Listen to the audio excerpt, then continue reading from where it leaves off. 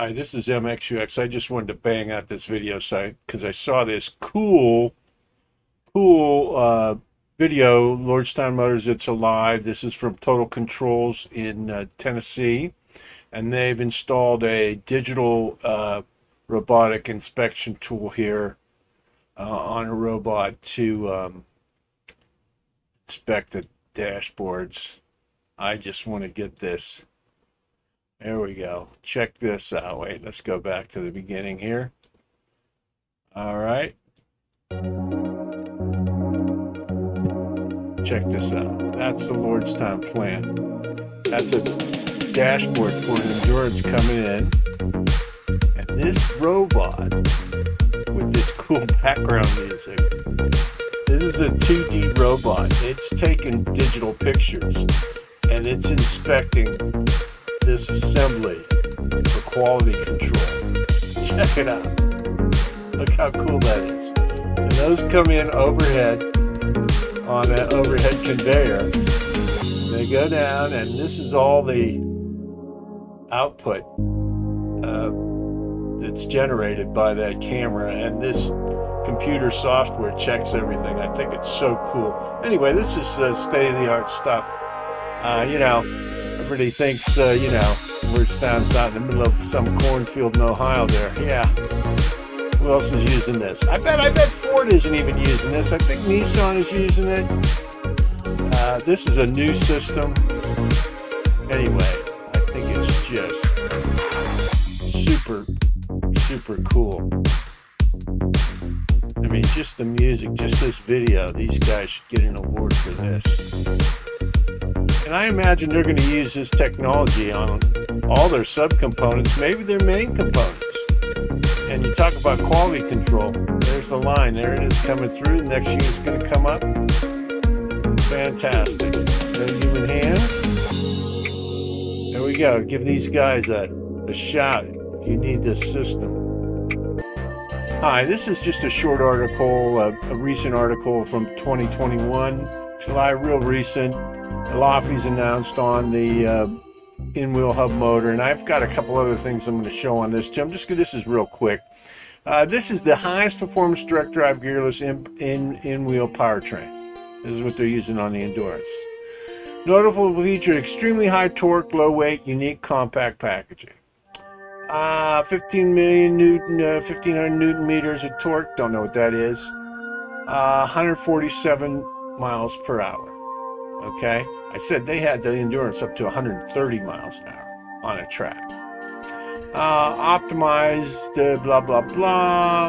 Uh, design electric hybrid uh, rapidly and cost effectively without compromise. Anyway, uh, prototype mules based on this. Uh, now this was something that Q's Views was asking about. They put these motors on a BMW X6 and they did a 3.5 second 0 to 100 kilometers, which is um, uh, 65 miles an hour. So 0 to 60. Uh, I think a BMW X6 SUV is comparable in weight, in weight, weight, weight to a um, uh, uh, the Endurance. Uh, tier one supplier, blah blah blah. Anyway, just wanted to point that out. Let's go on to the next section here. And just reviewing the uh, Lordstown Motors Tech, this is just another uh, little piece here on, a little longer piece in e-mobility engineering. I believe I've mentioned this in some of my other videos, the L1500 wheel motor, which is what uh, Lordstown is using. Okay, we'll use cookies, all right. Uh, so this has been ongoing, this development of this product since 2006. Uh, radial flux three phase AC synchronous motor weighing 33 kilograms, which is 65 pounds, something like that. 67 pounds. 2019, uh, based on an earlier model. Uh, the active part of the motor, uh, the electric machine with winding, takes up just 30% of the overall weight giving it a torque density of 460 newtons. The nearest competitor is 390, so it's very efficient. Again, I was talking earlier about the lightweight of the endurance and how it makes a difference. And this goes all the way down into the motors as well. The Endurance weighs 4,000 pounds, and these motors are the most effective of their type. Anyway, probably of a lot of types. Uh, has 83 components, the motor, 60% of which are standard supplier parts. And the rest mostly castings or customized supplied, uh, customized supplier solutions. So, uh, Lordstown should have no trouble getting this up and running. Okay. Uh, direct drive outrunning, meaning the external rotor and an internal stator. So the, the outside rotates, the internal part is, is uh, stiff. Uh, the stator ring is made from magnetic steel laminations. Its poles use a patented winding method developed in-house. Uh, it attaches directly to the vehicle knuckles. So again, another uh, IP. Um, logistics have been strongly prioritized. As a result, the wheel integrations using motor will also incorporate standard off-the-shelf automotive bearings and braking systems. So again, uh, Lordstown will have no trouble integrating this into their uh, vehicle. Standard brakes, bearings, so forth can be used. As a result, each customer's motor, okay, so uh, anyway, they're just saying here that, uh, you know, this is this is a really elegant design which uses a lot of conventional parts which are already tested and proven. As a result, each customer's motor can be customized to a uh, degree to modify the rotor and stator interfaces to accommodate their preferences in peripheral components such as brakes, bearings, and other internal parts. So, again, they can change sizes to accommodate whatever brakes they think uh, the uh, endurance is going to need. And I think this is something they may have mentioned, uh, but again, it's not a big deal. Uh, this is a big deal. Within five minutes, yeah, and this is the electric motor. This is like taking a V8 out of a truck, only you can do it on the Endurance in five minutes. Can be integrated or removed from a car for routine maintenance, such as brake inspections and replacements. And what they don't say here is you can use common hand tools to do this. You do not need specialized tools. You need a torque wrench, probably uh, customizing wheel motors, performance and commo- uh, uh, for bearings and brakes. The L1500 performance and components can also be tailored to meet manufacturers' uh, specific requirements. Again, you know, Lordstown has a secret sauce. They're gonna they're gonna uh, um, build this motor the way they want it. They're building it on site. Uh, here's permanent magnet, blah, blah, blah, liquid cooled, operating range 200 to 800 volts. So it can do 800 volts. It can do the, the big voltage.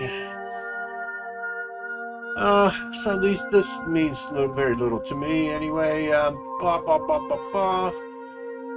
Here's, there, you know, Elon says first principles. Well, these guys, uh, they do what's called, uh, what do they call it?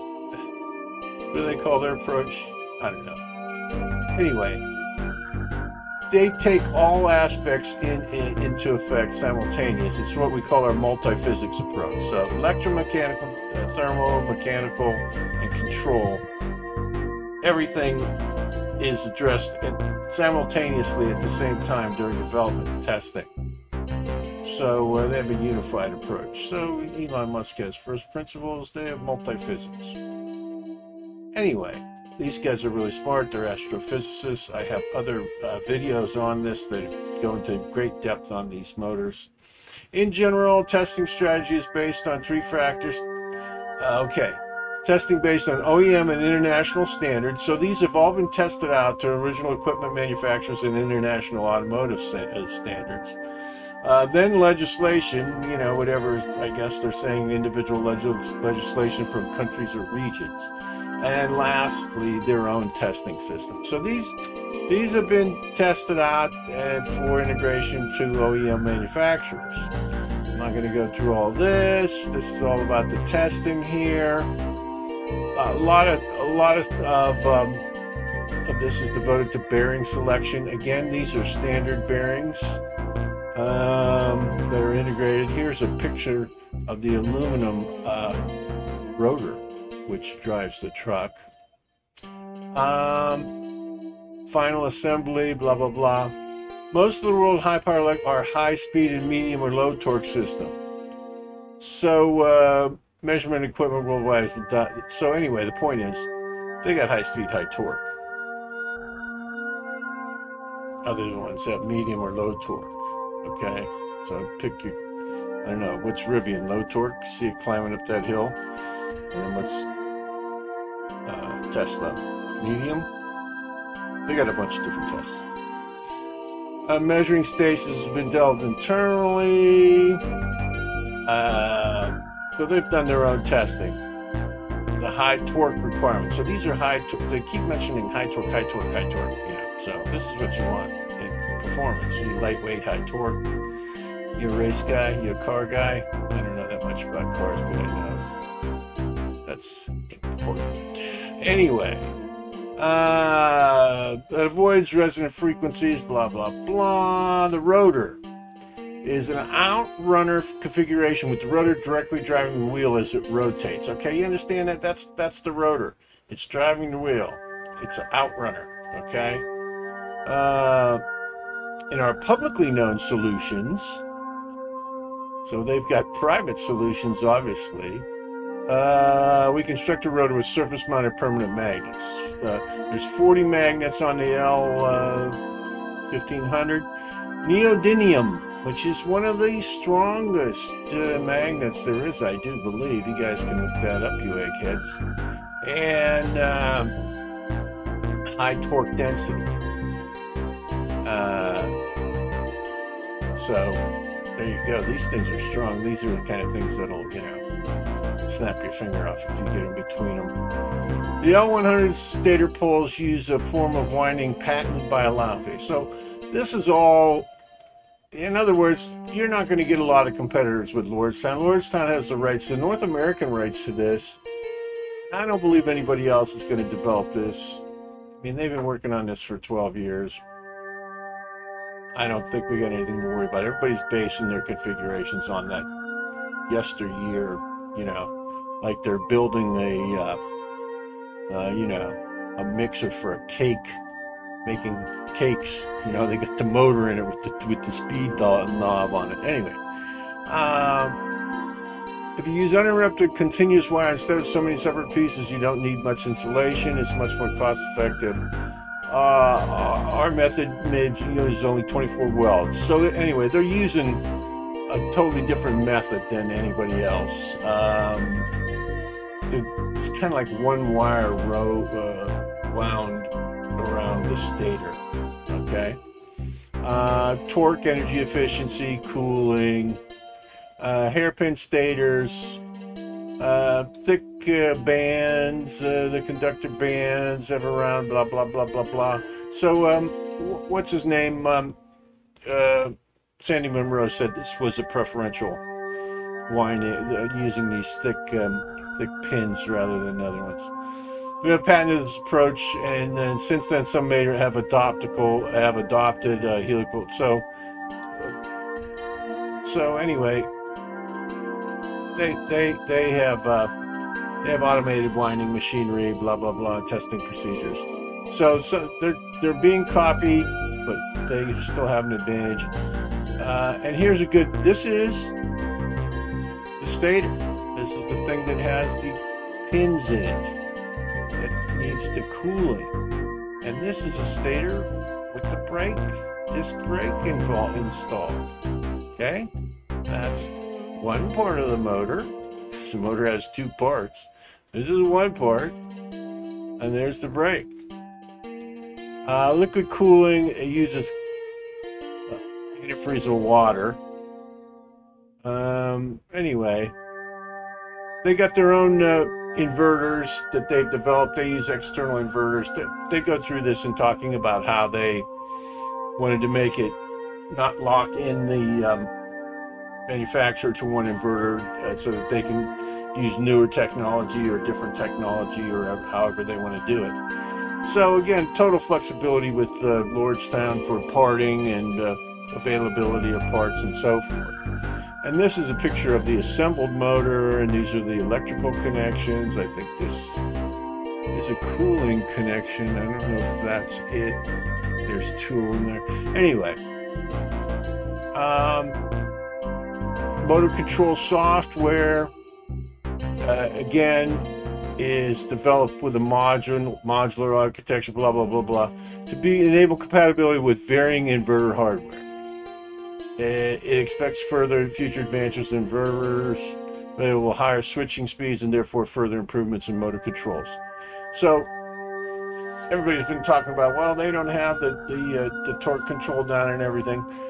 So, you know, obviously they're settling in on their components, their inverters, and uh, their other other parts they're going to be using to put the system together.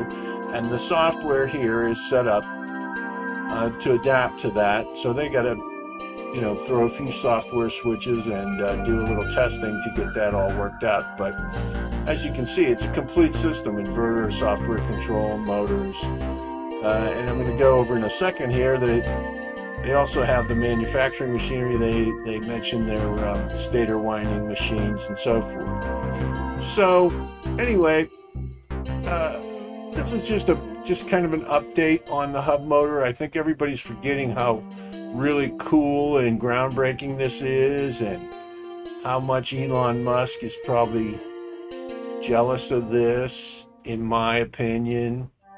Um, Anyway, Sandy Munro is involved with Aptera. He's invested a lot of money in Aptera. Aptera using the same motors.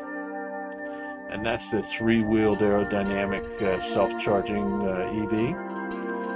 And, you know, I'm just going to put a bug in everybody's ear. You know, hey, Aptera, a lot of space in this plant. They're going to have the only North American manufacturing facility for these motors we got to start building the Aptera at this plant as well. All right. I think that's possibility in my estimation. Look for that in future videos. I've done a lot of uh, videos on the Aptera. It's a good fit. Okay, I noticed some of the other uh, YouTubers, Q's Views, was asking for an update on the manufacturing of the uh, motor line uh, at Lordstown, the installation. They got the machines coming in from Malaysia, the lines been tested. This is, uh, I believe this is for ISO 9000 uh, certification, and oh, it's an R&D project. Well, forgive me, whatever. Uh, this is something that was produced. This is a bit old. It's 2018. Uh, but just to give you, this is the assembly line for the L1500. Uh, this is obviously, what, uh, three or four years old now, and uh, I don't know if Lordstown is going to be using this exact thing, but this will just give you an idea. Okay, first draft, okay, uh, review and release, okay, blah, blah, blah, 5 uh, 2018. So this goes through the ProDrive project games, solving the needs of OEM. Okay, this just talks about, uh, they're calling the Elaphe F1500 the ProDrive. Uh, offer a complete solution uh, for OEMs to use in their design of uh, upper segment cars vehicles. Uh, so this is much like our advanced, uh, looks like European Union, this looks like the advanced technology loan that the United States is supposed to offer that they'll probably stiff uh, Lordstown on. Sorry, you don't need it anyway. Anyway, uh, so this is uh, their proposal, or uh, this is a summary of their systems that they've created so far. Uh, first draft, content, finalized documents. So let's just go through this real quick. And uh, this is a demonstration of manufacturability. Okay, so this is just, uh, as you can see, this is almost a lab-like setting, but you can see here, this is how they've set up the assembly line. You know, they got 1, 2, 3, 4, 5, 6, 7, 8, 9, 10, 11, 12 people. And this guy looks like uh, He's there, so they got 12 people on the line there operating machinery. And 1, 2, 3, 4, 5, 6, 7, 8, 9, 11, 12, 13, 14, 15 people, 16, 17 people there. Anyway, the point is, these are probably all going to be robots, or most of them. Um, and this is blah, blah, blah. And scope of the document. Uh, assembly line demonstrator. Okay, so this is just a demonstration of the assembly line. And this is the stator assembly line, and there's our, uh, this is actually the rotor assembly, excuse me, rotor assembly station. Um, task assembly, the wire 3D formulation. Now, again, um, these are uh, people that could be in places at different times. And this is, again, just a, an idea. And again, I'm sure that, uh, okay, uh, this is the stator. Okay, this is one of the stator designs. I believe they've changed this spoke design here. Uh, but uh, insulation, insertion. So now this is a great picture here. It shows you the little fins here. And this is where the copper wires go in to uh, create the uh, stator. Uh, and then uh, these are machines that have been developed to bend and shape and insert these wires. So this is probably something that is going to be installed in um, Lordstown, something similar to this. Um, these are the bus bars, and uh, this is the assembly that's you know, kind of glued in there or cast in there. These are for the electrical and control connections for the stator. Very simplified construction. If you compare this to the Tesla, I mean, man, this is one tenth, less than one tenth of the parts. Anyway, that's it. That's basically it. That and there. There, that's the stator. Okay? Um, again, this is a good view of what the stator looks like underneath everything. There's the coiled wires. It's a very good view, actually. I don't know if you how well you can see that. Um, thermistic. Uh, let's see if we can take that up a little bit so you can get a better look at that. There we go. Look at that. Look how cool that is. And they're trying to use one complete wire or a limited number of wires in this to make it even more effective. And again, this is where the, uh, the control bus fits in, and there's the connections for the control bus there. Very simple construction. Look at this. Look, look how elegant. It's elegant, I'm telling you. And this is an exploded view here. Shows some of the things that are needed. You know, not much, really and um, these must be the hand operations that are required. You know, putting a couple screws in. So the, the main, the bulwark of this is done, you know, um, and here's the stators again, and there's the, uh, the bus. And then now, now, here's the machines. Let's see if we can get this a little bigger. You can get a look. This is what they're waiting for from Malaysia or some version of this. And these are bending those wires and weaving, you know, weaving that, uh, weaving into those slots, the, uh, the stator one. So very cool. And uh, just to give you an idea of what this manufacturing, I mean, this is so much simpler than for any other electric motor manufacturer. I mean, guys, this is unbelievably simple. This is, as I like to say, elegant. Anyway, if we go down further here, and again, uh, here is the uh, assembly, and this is, you know, kind of in a prototype stage here. But uh, look, they've got a few extra cooling hoses. This is, uh, I think, uh, I don't believe the production version has this on it, but it, it might. But again, this will show you the assembly here. Um, what do they got? Loctite, uh, you know, putting it together. Look how simple this is. One, two, three.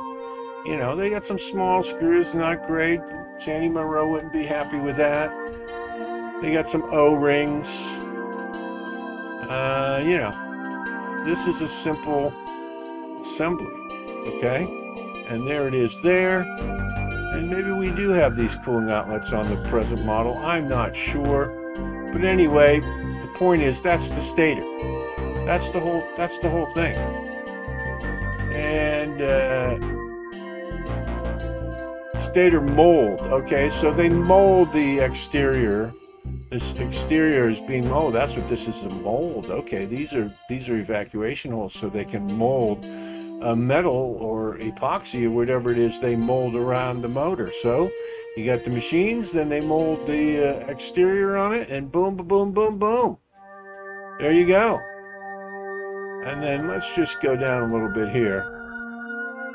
Um, due to the uh, simplicity, the rotor line consists of only one workplace on which magnet gluing processes perform. Cycle time for well lead to this the automated magnet gluing machine is already developed. Okay.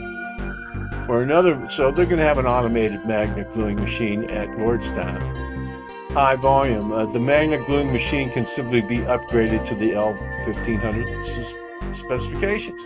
So they're going to have the the magnet gluing machines at Lordstown, the latest configuration, and then they're going to have the stator wire bending uh, uh, machines as well. And I'm sure they're going to have robotics moving these parts around. Anyway, this, okay, for all you New Yorkers, this is out in a cornfield in the middle of Ohio. Useless eaters. Okay, uh, so this is this is very cool. So this is it, and it's got the the uh, the motors, uh, the magnets are glued inside, and we've got a magnet gluing machine. I guess this is one of the magnets here, and this might be the placement of one of the magnets.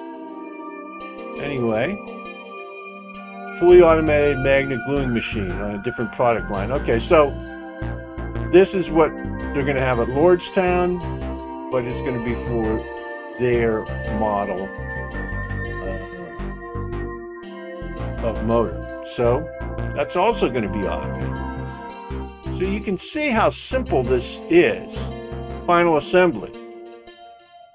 Here it is. Fully automatic motor coupling machine. Patent pending uh, ProDrive, blah, blah, blah. Assembles the rotor. So this is automated too. So, you know, you got very few, uh, this is going to be, you know, the, the there aren't going to be there are going to be a few small screws looks like put in by humans there isn't going to be much else done here by humans this is an automated machine that's going to assemble these two parts together and there is uh, an example of that um, and what do we got here interface installation uh, on this workstation interface and external components are installed okay so you've got uh, these are the coolant lines going in. And this is, the, this is the control lines and the power lines. And that's it. Well, they got some Loctite here, some Teflon tape. okay. Looks like one of my projects. Put a roll of duct tape in there, you got something. And a bigger hammer. Anyway, uh, RSL sensor installation, uh, whatever this may be. I'm not sure, but that looks like it might be done by humans. And here's the components, and here's what they look like, you know, with the lines all wrapped up, not being connected. That's your motor. That's the whole thing. That's it. Let's take that up a little bit so you can get a better look at that. There, there it is. That's it. That's it. That's it. So just to give you an idea of what the production line is going to look like. And our measuring station didn't come in through. What is this? This is end of line testing, fully automated.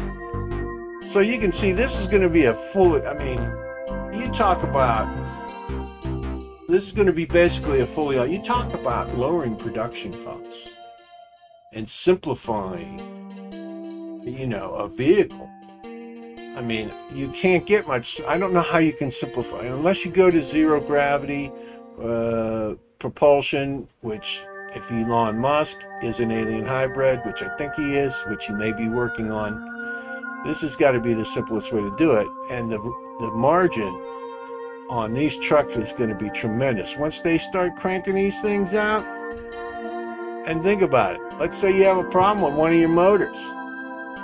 You could send this thing UPS. Hold it on yourself for five minutes with hand tools. I mean, I know that's what Aptera is talking about.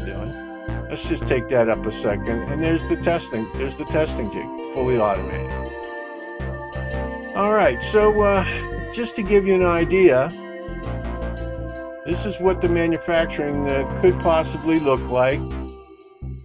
Uh, in-house, outsourced uh, directly to appropriate workstation, install the motor. So this is the bus bar um, that uh, delivers the, the power uh, to the um, to the motor, and uh, patents and automated. See, this is automated. The, and 3DD wire is automated by Elaphe. This is going to be in-house. It's going to be outsourced. So these are all. I mean, they're this part, this bill of materials, this bomb for this motor. It's like a half page long. Okay, there's your brake subassembly. Well, what do you got? Hey, you got the disc brake. Duh. Uh, third structure, along with the stator of the roper. A rotor uh, connecting the bearing, disc brake, and caliper mounting plate to the parking brake. So you got the parking brake. This is the standard stuff here. No big deal. Disc brake with a parking brake. Mounts, uh, there's the motor mount right there. Uh, this hub uh, mounts on the stator and the stator mounts on uh, the stator mount mounts on the wheel knuckle. Simple. And the rotor is attached to the wheel and goes around. And uh, base cables. Okay, so you know this is standard electrical stuff here. Conclusion.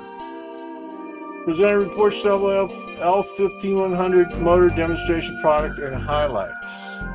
And let's see, so you can read this if you pause it. The main characteristic uh, highlights the processes performed on individual workstations. The main characteristics of the L100 motor assembly line is reflecting flexibility for transferring from low to high volume production. Many of the fully automated machines already developed by Elaphe's for Elaphe's higher target volume products. They lay outside the scope of ProDrive. This was kind of a prototype project. Easy, easily adjustable to the L. So this is this is not prototype manufacturing machinery. This is all proven, and it's being adapted up to the L15 uh, 1500 by simply replacing some of the machine modules. Uh, Elaphe's higher target volume products that lay outside the scope of ProDrive products are easy adjustable to the L51, but simply by replacing some of the machine modules if the volumes of the L100 motor exceed expectations and will allow further investments into the line. Okay, so, I mean, that's the end of the report, but that'll give you an idea of a pretty well thought out and simplified and well automated production line uh, for these motors. And just that's the assembly and the test, the casting of the rotor and the gluing of the magnets. And here they're casting around the stator. And there's the stator again. And again with these beautiful that looks beautiful doesn't it the windings and the, the minimal i mean you know the other beauty of this is here's the automated wire bending robots uh, again the wire bending robots uh, stator dressing sequence so again you know this is taking the burrs off these castings, I guess. But anyway, the point is, this should give you a real good idea of what it takes to make one of these motors. And again, this is from 2018, and this was really a prototype, uh, kind of a production uh, proposal for this motor assembly line. But just trying to highlight the tech out in the middle of the cornfield. Everybody's underestimating this company. The, the president, Schmidt, I'll tell you what, he's the man. This is his baby. He's going to pull all this together. He already is. And uh, anyway, uh, I think it's going to be. Uh, see, this is. I think this. This is. This is the new new, guys. All the cars are going to be made like this. I mean, why would you make a motor any other way? Did you see Sandy Munro's videos when he takes apart the the uh, Tesla motor? My God. Anyway, that's it. And uh, I don't think I'm going to put a close on this video. I just want to tell you thanks for watching. And uh, so we got funding. This line is coming through for Lordstown. It's on the boat from Malaysia, and again, you can see all these machines involved here. This is going to be pretty automated. They're going to put a few robots in here, just like. Steve Schmidt put that inspection robot on the dash line. This is going to be a high quality vehicle, lightweight, torque, power. It's going to be nice. It's going to be nice for fleets, and it's going to be nice for consumers. Everybody's overlooking what a good consumer truck this is going to be. You know, if you want to drive, uh, you know, a uh, 8,000 pound, you know, massive cement truck around, you know, that's great. I mean, uh, you know, the Cybertruck is probably going to weigh that much. The Ford F 150 Lightning is going to be one of the heaviest, I think it's 9,000 pounds. That's okay.